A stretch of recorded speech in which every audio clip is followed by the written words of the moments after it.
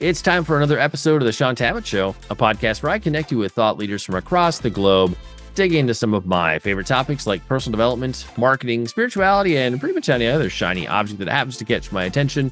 Today, my special guest is John Fry, and we're going to be discussing his brand new book, A Prairie Faith The Religious Life of Laura Ingalls Wilder. John, it is truly an honor, sir. Welcome to the show. Thanks very much. Well, John, this is the first time you and I are getting to meet on camera today. I know you're going to be absolutely brand new to my audience. So let's start this out by having you share a little bit of the John Fry origin story. Uh, give us a little bit of context for background, education. What are a few things we should know about you? Sure. So uh, I was born in Pittsburgh and I grew up on a farm about an hour north of Pittsburgh in Western Pennsylvania. Um, I went to uh, Geneva College, which is a small Christian liberal arts college in Western Pennsylvania, to get my uh, bachelor's in history. Uh, I got a master's in history from Duquesne University, which is in Pittsburgh. Uh, and then I came out to the Midwest and got a PhD in American history from the University of Iowa. Uh, for the last 20 years, I've taught at Trinity Christian College, which is a reformed liberal arts college in the southern suburbs of Chicago. Uh, I've written two previous books. Uh, my first book was about farmers in the Midwest and what they were reading at the turn of the 20th century. Uh, my second book is called Almost Pioneers, and it's about a couple from Iowa who homesteaded in Wyoming during the 19 teens. And uh, my third book, uh, Prairie Faith, just came out last week. And uh, I'm curious, how did you stumble into doing an extensive amount of writing and research on Laura Ingalls Wilder. You share a little bit of that in the book, and it wasn't like you grew up reading these books. So I find it fun that you kind of fell into the space. Yeah, yeah. So uh, I mean, growing up, it was my older brother and me. So there's mostly testosterone in the house. We did not uh, grow up uh, reading the Little House books. Uh, but my wife got me to read them shortly after we got married in the early 90s. And I was really taken with their really attractive portrait of family flourishing and the, the straightforward prose. And uh, at that point, I was actually in, in grad school at Duquesne University. Um, in Pittsburgh, most histor- his, history students were doing urban history or like labor history, and I wasn't really interested in that. And my wife said, Why don't you do some writing about Laura Ingalls Wilder? And so I wrote several papers at Duquesne. That got me into farm newspapers, which was my uh, my dissertation project at Iowa. Um, I then sort of did a, uh, a, sideways movement to write about Laura Gibson Smith in in Wyoming. And then when after that book came out, people started saying, you know, what do you want to write about next? And I said, I want to do something on Laura Ingalls Wilder. And for this latest book that just came out, uh, for like I always like to hear like what for you what was the why why why did you need to explore this topic further? Because you talked about in the book there were some other books that have tried to explore the faith life of laura ingalls wilder. Um, why why was your contribution needed to this conversation? Yeah. So uh, yeah there's other biographies that have addressed uh, her faith in you know in in the course of telling laura ingalls wilder's life. Um, one of the best ones is by uh, a scholar named John Miller, who I actually got to know in the 90s, who's a good friend. And uh, he sort of argues that uh, Laura was a very committed Christian. Christianity was very central to her life and worldview. But as I read, uh, or as I read the Little House books, if you read the Little House books, not all the descriptions of the church in them are positive. Um, some of them have a real negative edge. And that got me wondering what's the best way of explaining this? Um, the other layer in that is uh, that Laura Ingalls Wilder wrote uh, handwritten manuscripts of each of these books and then handed them off to her daughter, Rose Wilder Lane, who typed them and edited them as uh, she went along. And uh, they together actually created the books that got published. And at, when they were writing them in the late 20s and early 30s, Rose was an agnostic. She had pretty much rejected uh, the organized church and Christianity, sort of had some cultural uh, pulls towards Islam. Actually, she had traveled to the Middle East. and I thought, what's really what's the story? Who's writing what in in these books? And I thought uh, maybe I can contribute to that by trying to tease that out. And in terms of research, primary sources, uh, historical sites, museums, what was some of the ground you traversed, so to speak, uh, to get ready to write this book or in the midst of the writing process? Yep. Yeah. So uh, it's interesting. So Laura Ingalls Wilder's daughter, Rose, is a fascinating woman. She was a journalist and a writer in the early 20th century, ended up writing a biography of Herbert Hoover at one point, one of uh, Charles Lindbergh. Um, so her papers are actually all at the Herbert Hoover Presidential Library, which is in eastern Iowa. And as part of her papers is a bunch of correspondence between him, or, sorry, between her and and and her mother, Laura Ingalls Wilder, as they were writing these books, um, and some uh, typescript drafts of the uh, of the Little House books, and uh, some other materials from Laura. So I went there, and that's where I sort of launched um, the project. I originally thought the project was going to be an article, um, but after uh, presenting a paper at a conference in uh, in the fall of 2016, I had been working on this for eight years. Um, I had uh, two publishers come up to me and say, "Hey, would would you be interested in writing a full biography of Laura that pays particular attention to her faith?" And I said, "Well, I guess I could think about that." And um, I, I, think both publishers wanted to have uh, a book on Laura Ingalls Wilder, given her popularity, you know, continuing popularity. Um, ended up going with Eerdmans. Um, I, I, went. There's a, a, uh, small archives in De Smet, South Dakota, where uh, the Ingalls family lived, where Laura lived during her uh, adolescence and her early marriage. Uh, there's also uh, a collection down in Mansfield, Missouri, where uh, Laura and Almanzo lived most of their adult lives. And then I did some research in the University of Missouri archives. And the University of Missouri has collections in Columbia, where the main University of Missouri is, also in Rolla, and in St. Louis. And I went to those sites to look at their materials. One of the, gosh, I, there's so many places I want to go. Let me, I'm, I'm going to move around in my notes for my original plan. Uh, one of the things you tease out in the book is that it, it seems like Laura, in, in terms of a few of the things she said, that she was almost uncomfortable seeing or hearing other people share about their experiences with God. Um, can can we say that that impacted her writing, or is that more of an anecdotal comment that we see in a few places? Yeah, so um, it, it comes up in one place. Uh, so before uh, Laura and Rose actually started writing autobiographical children's fiction, which is what the Little House books are, uh, Laura sat down and wrote a memoir of her early life and gave it to Rose. Their hope was that they could uh, get it published, maybe by a magazine who would serialize it. And uh, she called it uh, Pioneer Girl, uh, they weren't able to get any publishers interested in it. And then they ended up taking material out of that memoir to, to write the Little House books. Um, the memoir itself was not published in its entirety until 2014, actually came out in a large annotated edition. It's a beautiful book.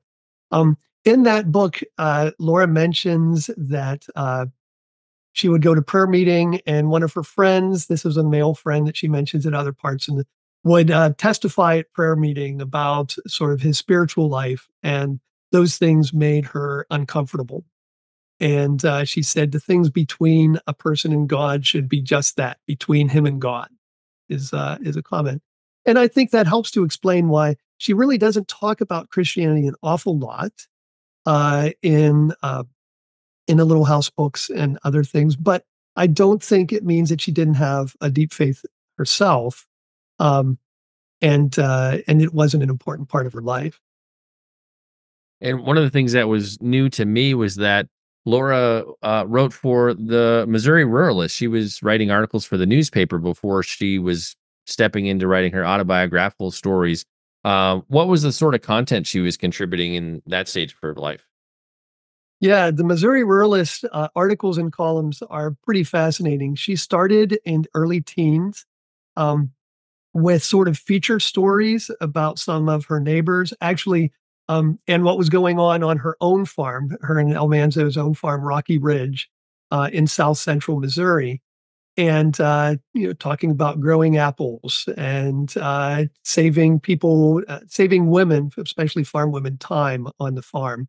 Um, so there are feature articles. Then she became the editor of their women's department.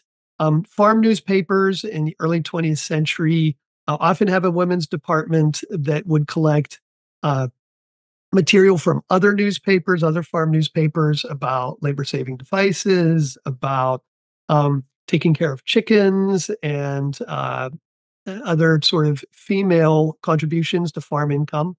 And uh, and Laura wrote, wrote some of those, but then she often just sort of did an advice column. It wasn't that she was answering people asking for advice, but talking about how she thought that farm women could live better on the farm uh, in different areas, uh, uh and often sort of moral uh, engaging moral things about disagreements with neighbors and uh, and sometimes addressing larger public issues. She wrote during World War One and addresses uh, some of the uh, challenges of uh, living during the war and also uh, fighting a war. Um, and and then she also does talk about Christian ideas and Christianity itself at times. And let's now jump into maybe what we describe what we would describe as some of the things we can know about Laura's spiritual life ba- based on your research and the, and the writing you examined. Um, first, let's jump into her kind of her her younger pre-adult years. Uh, talk to us a little bit about uh, the, the religious spiritual influence in her home. That that does come across quite a bit in the books. What what can we know for sure uh, from what she shares from that part of her life? Sure. So uh, Laura's family began attending a congregational church when the family moved to Minnesota. Uh, Laura would have been around six years old.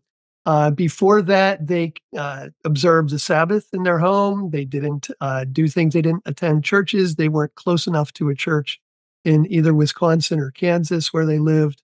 Uh, but they they read the Bible, they sang hymns. Laura's father played the violin when they sang all kinds of different things and hymns on Sundays. Um, but then uh, congregational churches in uh, in Minnesota, in Iowa, where they lived briefly, and then in uh, South Dakota. Uh, certainly, uh, Protestant morality uh, was taught in the house: obey your parents, love your sister, be kind to others, and um, some indications uh, that her parents and her older brother or older sister Mary uh, became members of the church in De Smet, South Dakota, the Congregational Church. No evidence actually that Laura ever became a member. Um, but so there, but there are certainly commitments. They attended weekly, um, uh, mainly Sunday school and morning worship services. There were it was an evening service, but they didn't attend that. And in terms of habits, kind of spiritual practices. I mean, at, at one point, Laura's memorizing Bible verses to be competitive and kind of try to win a contest, prayer, Bible reading. What can we know about habits, spiritual practices from that point of her life? Yeah, no, absolutely. So, uh, daily prayer, it sounds like before they went to bed. Um, she uh, she did have this experience when she was 11 years old, and um, uh, so the the family went to the Congregational Church in in Walnut Grove, Minnesota, but she also went to the Methodist Church in the afternoon. The Methodist, so the the Congregational Church had its own building. The Methodists met in a meeting room above the uh, the grocery store, basically. And so she went to two worship services because the Methodist Church was having a contest for young people to memorize two Bible verses a week. Um, and then recite them all at the end of the year. So basically, learned 104 Bible verses. Um, Laura and one other person, actually, it's the the young man that she talks about in other places testifying, uh, were able to do that and uh, won a reference Bible as a as an, an award. Um, during that year, um, Laura's family was uh, close to poverty most of her upbringing. And uh, at times she had to work outside the home for money. And uh, at one point, she was staying with a family whose the, the husband was often far from home, uh, was traveling. And so she stayed with the wife and kids. So she was away from her own house at age 11. Um, uh, many nights, many evenings. And she talks about saying her prayers and having an experience of the divine, basically, that she uh, felt a, uh, a comforting presence and thought that must be what people call God. And uh, so, you know, in, in her, and she, even though she was reticent to talk about it, she mentions that she didn't like people who talked about this. She remembered it for 50 years when she was writing her memoir. And so that comes into her memoir, uh, both of those stories when she was writing it in 1929. And if we jump further ahead into her adult married life, uh, which the bulk of she was in Mansfield, Missouri, um, what can we know about her spiritual life practices in that uh, adult stage of her life? And that it spans many decades. Yep. So most of her adult life, uh, they lived uh, in this farm close to Mansfield, Missouri. They moved there in 1894. Um, Almanzo died in 1949. Uh, Laura died in 1957. Uh, she was a couple days past her 90th birthday. Um, there was no congregational church in Mansfield, so they went to the Methodist church. Um, they attended the Methodist church. Uh, all of the evidence points to the fact that they never became members of the Methodist church. It's hard to exactly know what to do with that. Um, but uh, but they were committed. Um, and uh, I think Methodism for her was a way of sort of believing in what the Bible taught in the gospel, but there weren't as many particular beliefs uh, that might have been required uh, if she had gone to the Baptist church. There's a Baptist church in town, there's a Presbyterian church in town. She says uh, uh multiple times in different writings that she didn't uh, buy uh, predestination. that would have been sort of stock and trade for the Presbyterians there and um, uh, pretty strict Sunday uh, observance for the Presbyterians as well. She went to the Methodist Church. Um, uh, although it's interesting, so uh, one thing, one of the taglines, I guess, for the book is that uh, unlike John Miller, who saw Christianity as very central to her life, um, I see Christianity as important, but not actually central. There were her neighbors who were much more sort of committed to the church and its activities than Laura and Almanzo were. Uh, in the book, you kind of talk about Laura has sort of two worlds her literary world, the fictionalized versions of, of her stories, then kind of the actual uh, historical world uh, that she lived in, so to speak. Uh, in terms of obviously Little House on the Prairie TV show, books, just epically popular uh, for most of us when when we were growing up. Um, I would love to hear just in terms of questions you get asked when when you speak, or just you know we we all have this most of us have a very popular level view of Laura and her life based on the fictional stories and uh the TV show. What what are some of the thing the questions you could ask, the things that surprise people most? Uh because we have a very Hollywoodized idea, I think, of who Laura is and what her life was like. Yeah, that's a great question. So in some ways, I sort of see three worlds, right? So there's the historical world of Laura Ingalls Wilder as she lived, and that's what I'm trying to get at. I'm a historian. Um, but we always have to reckon with these other two worlds the world of the Little House books, as you read the Little House books, and then the world of the television series, which is a very different world, even from the um, the Little House books. Um, and and it's difficult because the Little House books they're really well written. The prose is incredibly inviting. It sort of describes uh, the psychological states of a young girl, and then and then she grows up over the course of the books. Um, and the last four books are really young adult fiction before young adult written before young adult fiction was really a thing. Um, and when you read those books, it sounds like that was just the way things happened. That was what happened to her when she was growing up. And it's always difficult to sort of um, realize that those are fiction. Uh, Laura combined characters, she changed events, she left things out, she put things in that didn't happen. She and Rose collaborated on these together. And so Rose had an impact on uh, what was in the Little House books. When I first started doing sort of historical research, I really had, it was difficult for me to pull myself away from thinking, well, the Little House book, Little House books say this. This must be how it happened.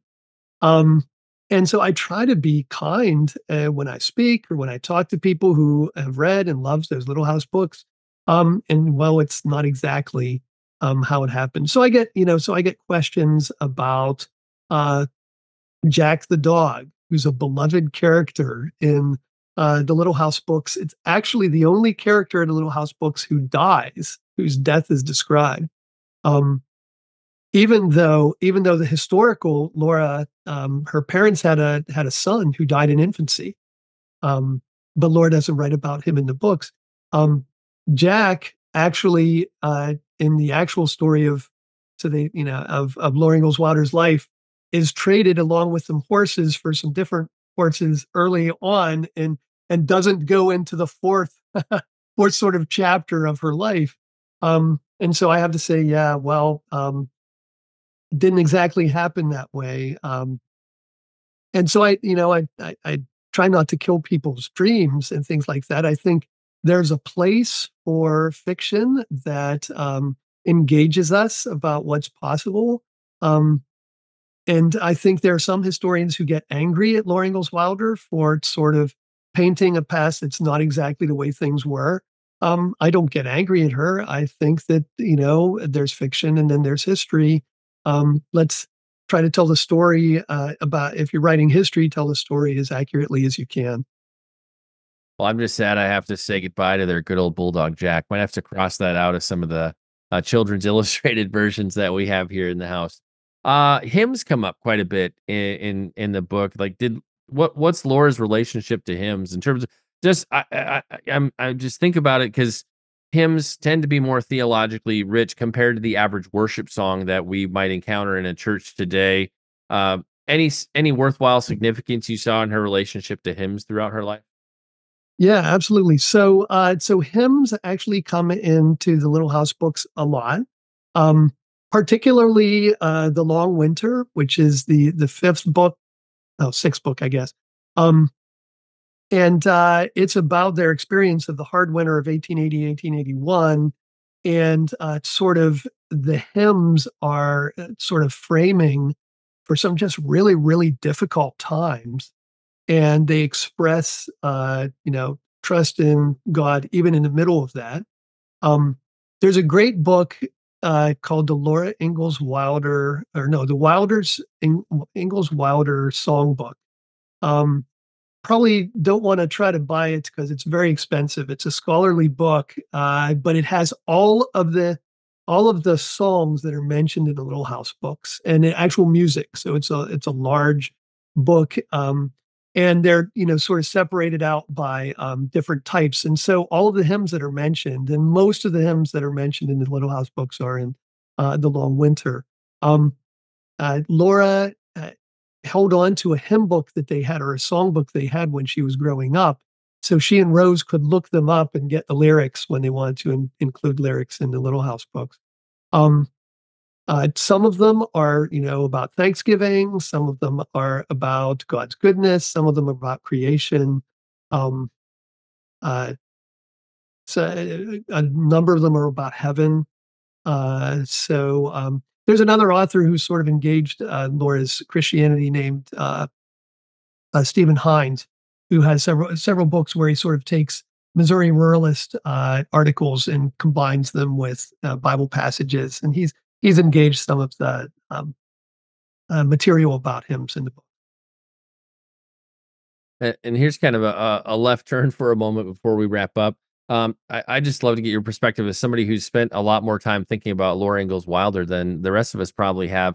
Uh, I find it curious and intriguing that all of the places that the Ingalls family tended to put their feet down for a time, there's a historic site. They we've preserved this, we've preserved that, and so um, did did these books and the TV show just so much capture the heart of people in America that people felt this was worth preserving this because it's not like you can just go to Walnut Grove or this place or that place. It's a journey if you want to hit up all these historic sites that we've attempted to preserve. Like, wh- why do you think that we we have to have that physical representation? It's it's just intriguing that there's so many places that they've tried to preserve this story. Yeah, no, th- that's a great question. So the first uh, historical site was in Mansfield, Missouri.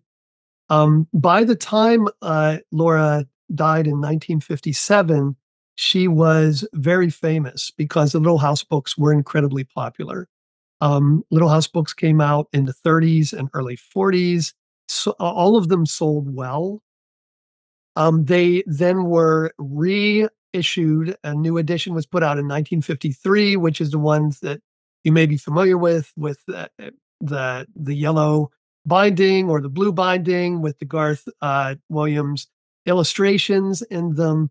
Um, incredibly uh, good sellers, even in the 40s and 50s. So, so she was famous when she died, and immediately the people of Mansfield, um, some of the boosters and the head of the newspaper thought we could draw people here, tourists, if we saved her house as a historic home. And so, um, so that's what they did. Uh, Rose actually paid it off. It, uh, Laura had actually, Laura and Almanzo had actually sold it in what an arrangement, what we would think of as a sort of a reverse mortgage. They sold it to a neighbor who paid them monthly to help support them um, as they aged. Rose bought the the uh, the house, gave it or the farm, gave it to the local committee the Laura Wilder Memorial Association, and uh, they started taking people through on tours immediately. Um, that uh, continued in the the, the 60s. Uh, some other sort of towns uh, decided that it would be great to capitalize on the, the popularity of the books. Um, it's my understanding that the real uh, popularity started coming with the TV show, though, in the 1970s. So these historic sites, um, there's one in upstate New York where, where Almanzo grew up, and there's, as you mentioned, one in Minnesota. There's one in Wisconsin. There's uh, two in South Dakota. Um, all of these places. There's one in Kansas, the Little House on the Prairie. Um, uh, and and even though what I've already mentioned, you know, the TV show was very much Michael Landon's vision of the past and Michael Landon's vision of uh, Laura's life and and the West. Uh, in some ways, the the, the TV show uh, takes issues that they were facing in the 1970s and then deals with them uh, with people who lived in the 1870s. Um, and uh, but that that really uh, continued the popularity. It gave even more popularity to the books and to people. Once again, when you read the books, it is the prose is very direct. It's like this is just what happened, and there's something about them that has made people want to go and be where those, uh, you know, where Laura was when she uh, was growing up, and where she later thought about uh, what happened to her. And in terms of uh, reader's journey with the book, takeaway, I mean, you you take us into some unique places. If eh, you know, in terms of if we've only read kind of the the fictionalized stories, um, like like what do you, how do you want to impact the reader? What do you want them to take away from their experience with this book? Sure. So, uh, I mean, it, what I always want to do for my students uh, who, who are studying history um, is to try to say we want to try to love our neighbor as ourselves, including our neighbors who live in the past, which means trying to be as accurate as possible about who they were and what they thought. And I we often sort of try to read things back into the past, I think. Um, and we make assumptions and uh, we need to let the people in the past be who they were and not who we want them to be. Um, and uh, so that's that's one thing. I also have just was really uh, intrigued by how Laura and Rose's collaboration uh, shaped what's in the in the Little House books in general, and then also how they um, how they treat Christianity. It turns out um, I was able to look at all of the uh, the original manuscripts, the written manuscripts that Laura wrote, and then the um, uh, the uh, there's some intermediate uh, drafts, and then the final uh, final books. Uh, Rose at times took sort of straightforward and positive descriptions of Christianity and made them more negative, as far as I can tell, which might make sense in terms of somebody who had sort of rejected Christianity. But interestingly, Rose also included prayers and Bible passages and other engagements with Christianity in the book that Laura hadn't put in her original handwritten drafts. So, in some ways, uh, Rose still knew scripture, and she uh, knew or she believed that this would provide a deeper engagement with the people in the past. Um, and I think she was right. Really, both Laura and Rose combined. Um, there's, you know, scholars disagree on uh, how to understand Rose's role in uh, in the writing of Little House books. I see it as a collaboration. Um, the Little House books would not be what they are today. You know what they ended up being if it weren't for either of those these women. And uh, so people are sort of interested in Little House books. Um, there's a there's I think I have some new things to say there about the collaboration between Laura and Rose. And uh, on the one hand, you know, when they first shopped Pioneer Girl, it just it fell flat. Nobody would pick it up. Um, at the time when they repitched, reworked it, and they actually got published, like what was Rose at that time already somewhat of an accomplished novelist or author in that stage? Absolutely, yeah. So she, um, her, her, for instance, her biographies of Hoover and, and Lindbergh came out in the 19 teens, and then she went to Europe. Um, actually, for the Red Cross, she was. This was right after World War One, and the Red Cross was doing projects across Europe, and so she was writing material for them to include in their magazine and their fundraising sort of um, uh, circulars. Uh, she traveled throughout Europe and, as I mentioned, to the Middle East, and then was writing fiction. Uh, it was very popular in the 20s and 30s.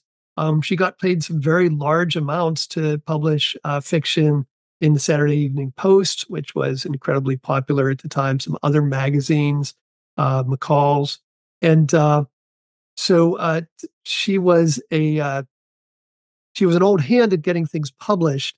Uh, and she really helped Laura to, uh, to, to get the Little House books published.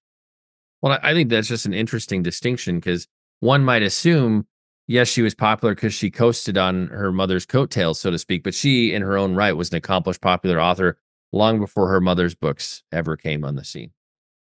Yeah, and and that's interesting because she never actually wanted to be associated with her mother's books, um, because mainly because they were children's fiction um, she sort of saw herself as the uh, as the novelist, as the artist, um, and at times, even after Laura died, Laura uh, Rose sort of said, "My my mother just wrote what happened to her when she was growing up. Um, I she was not writing fiction. I'm the one who wrote fiction." Is sort of the implication.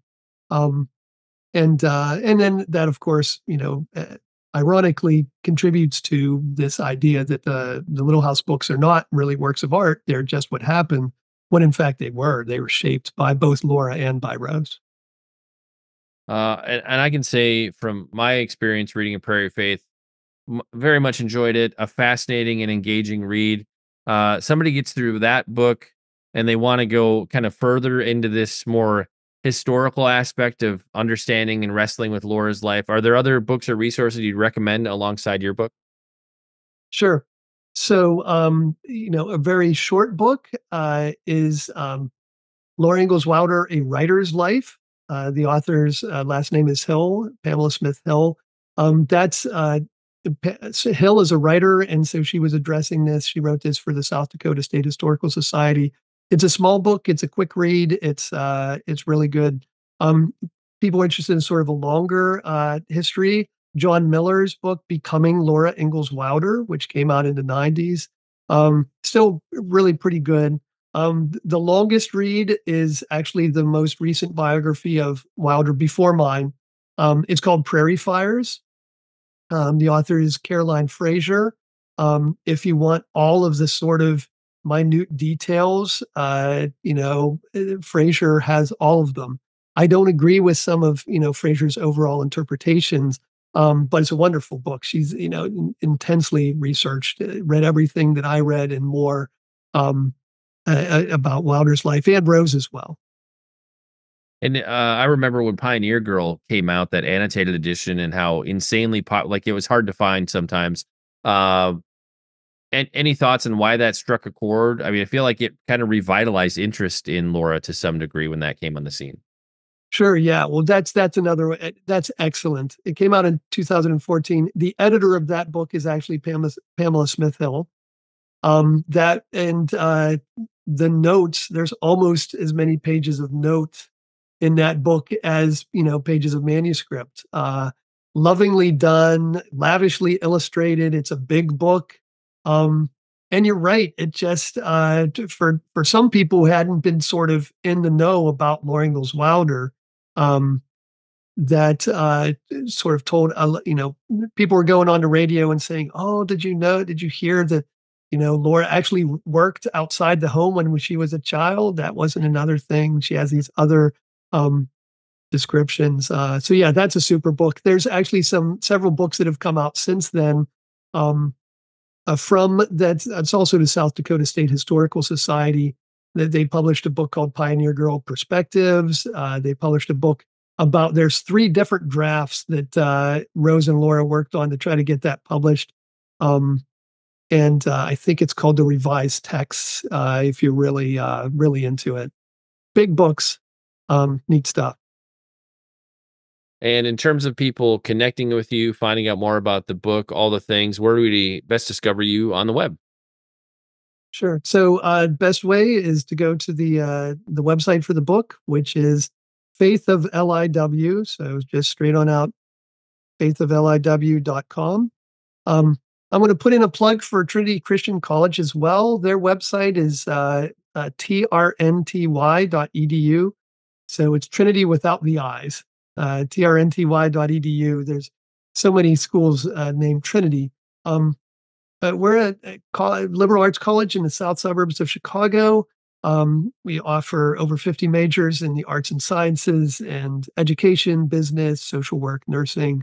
Um, we're actually doing some creative things to try to help students get out without a lot of debt. Um, we've reset our tuition and uh, we also have uh, reworked our schedule. So there's very few classes on Wednesdays. Uh, students uh, can use that to do co op. We are really encouraging students to do co op, which helps them reduce their tuition as well. Um, or get rest, do their homework, uh, other things to help uh, college students be well today. Um, so that's trnty.edu.